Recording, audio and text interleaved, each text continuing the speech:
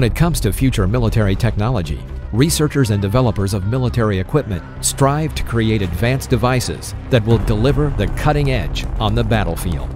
There are many different top secret weapons, vehicles, and aircraft that are currently being developed. Sometimes we get a glimpse of these weapons of war, but most of the time it's impossible to see what's been on the drawing board until the concept is ready for testing. Join us now as we take a look at some of the top secret future military prototypes that could be created soon. The Bell 360 Invictus Built to complement and replace the AH-64D Apache attack helicopter, the Bell 360 Invictus combines impressive agility and lethality with a modular open systems approach. The Future Attack Reconnaissance Aircraft will provide security and battlefield situational awareness until the fight is finished. When the United States Army laid out the requirements for this helicopter, designers knew they had to use all of the cutting-edge technology available to them. One of those requirements is an aircraft that can cruise at speeds in excess of 205 miles per hour. This helicopter was built with the ability to dash when it needs to and has a low drag tandem cockpit, which helps it to be a much smaller target to acquire. It features an articulated rotor head design that delivers greater speeds, and the high-speed rotor blade design mitigates retreating blade stall. It also has lift sharing wings, which reduce the rotor lift demand in forward flight, giving it high-speed maneuverability. Its lethality is improved, utilizing internal and external weapons, including a 20mm cannon and integrated munitions launcher. A fully digital fly-by-wire flight control system is built with the latest technology and offers advanced performance and autonomous flight. A first design Invictus was recently unveiled in October 2019 and is being slated for test flights in 2022. Northrop Grumman B-21 Raider Many of you have probably already seen the Northrop Grumman B-2 Spirit Stealth Bomber, an American heavy strategic bomber that features low observable stealth technology, making it possible to penetrate dense anti-aircraft defense. While it might seem like a new aircraft with its highly futuristic stealth design, this aircraft was in production from 1987 to 2000 and was introduced on January 1, 1997, and there are currently 20 of these flying wings in operation. Eventually, these aircraft will need to be replaced. So enter the Northrop Grumman B-21 Raider.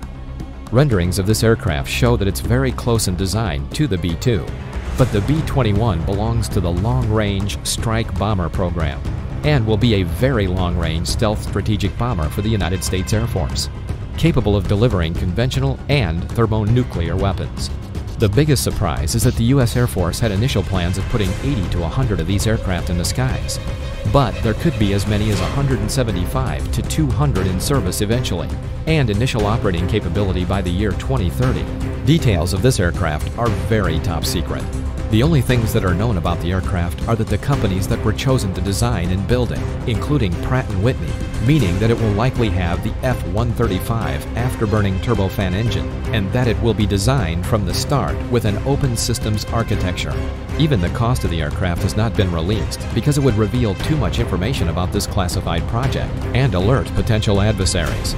But there are other secrets to this program as well, and it was determined that the U.S. Air Force is planning to acquire a new long-range fighter, known as the Penetrating Counter-Air. This new aircraft would accompany the B-21 Raider deep into enemy territory. There are very little details known about this fighter, but chances are good that it could be something like the Lockheed F-117 Nighthawk, which was retired on April 22, 2008. Only time will tell when we will see these two new aircraft in the skies, and they could be unlike anything we've ever seen. Ilyushin IL-106 PAK VTA not to be confused with the cancelled Ilyushin IL-106 of the 90s, even though this is a new aircraft and it is heavily based on that design. The Ilyushin IL-106 PAK VTA is a super heavy transport plane design that doesn't sound so cool or futuristic until you understand that its primary goal is to be able to fly at supersonic speed, or speeds that exceed Mach 1, while carrying 200 tons of cargo, and partially uses renewable electric energy. This aircraft is currently deep in development and will be updated with new avionics, engines, and other critical systems that they are keeping secret. There really isn't much more information available, other than the PAK VTA appears aimed at freeing the Russian forces' heavy airlift missions from dependence upon the Ukrainian-built AN-124. This aircraft is absolutely huge and could possibly do the job. However, because of current relations, Russia wants nothing to do with Ukraine. There are many images of the Ilyushin IL-106 PAK VTA floating around online and could give us an idea of what this aircraft could end up looking like. Although some of those photos look really cool, it could be likely that the new PAK VTA will look something similar to the Ilyushin IL-80, but only time will tell. FA-XX it would seem that speed and range are important things when it comes to fighter jets, and the U.S. Navy is trying to figure out how to best replace the Super Hornet and Growler aircraft, which is derived from the F-18 Super Hornet. For those who aren't familiar with this aircraft, the FA-18EF Super Hornet is a twin-engine, carrier-capable, multi-role fighter based on the original McDonnell Douglas FA-18 Hornet. The FA-18E is a single-seat, and the FA-18F is a tandem seat variant. They are equipped with an internal 20mm M61 rotary cannon and can carry air-to-air -air missiles and air-to-surface munitions. The Super Hornet flew first in 1995 and replaced the Grumman F-14 Tomcat. But technology is changing, and the United States Navy needs an aircraft that can operate in a post-2030 threat environment. At the same time, the Navy remains skeptical of the F-35C, which is currently the only aircraft that might meet most of its requirements during that era. It's worthwhile to point out that whatever the FA-XX might be, it will certainly have sixth-generation fighter jet capabilities. Future security systems will be dominated by advanced surface-to-air missiles, like the S-300 and S-400, and the U.S. Navy will only have a handful of stealthy Lockheed Martin F-35C Lightning II Joint Strike Fighters on the carrier flight deck in the 2030s. So what would the FA-XX look like? There really is no telling, since it's currently just a dream on a piece of paper. But Boeing has been contracted to modernize the U.S. Navy's FA-18 fleet with the Super Hornet Block 3. The Block 3 has five new systems, including conformal fuel tanks, which reduce drag and increase the fighter's range while at the same time removing the wing tanks and pylons, giving the fighter better performance and advanced computer systems.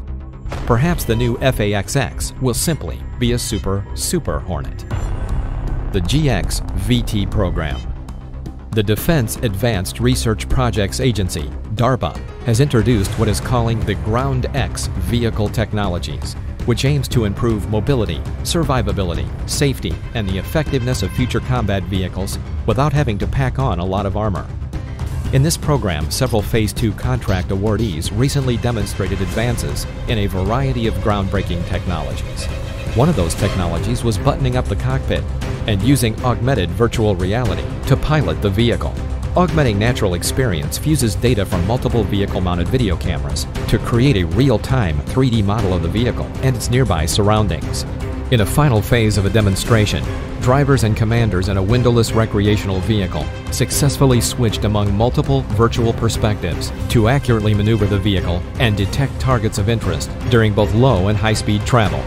This augmentation also provides real-time situational awareness using onboard path planning and gives the driver the safest and fastest route on the way to their objective. Vehicles outfitted with this system could even drive themselves. The other goal of the program is having future combat vehicles that could traverse up to 95% of off-road terrain using revolutionary wheel-to-track and suspension technologies, enabling faster travel both on and off-road. These technologies also include reconfigurable wheel tracks, electric in-hub motors inside the wheels, and multi-mode extreme travel suspension. DARPA says that it's excited with the program's results so far, and it will be interesting to see what vehicles they come up with.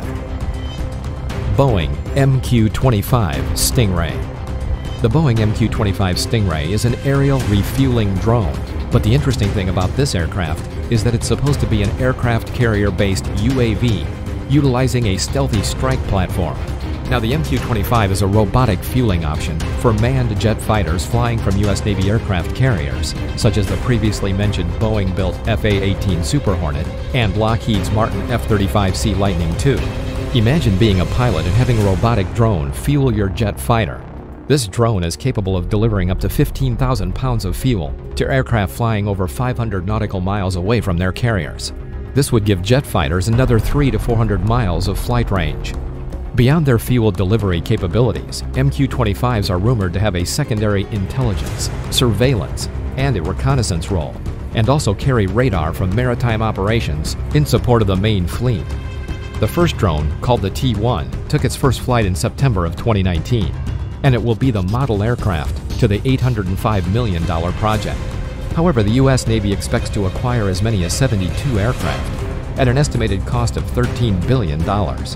With the induction of the Stingray into its ranks, the United States Navy plans to retain its deep inventory of FA-18 Super Hornets and the newly arriving F-35 Lightning IIs for strike roles and no longer rely on manned aerial tankers. We hope you enjoyed the video. We want to know which one of these future technologies interested you the most. Please tell us in the comments below.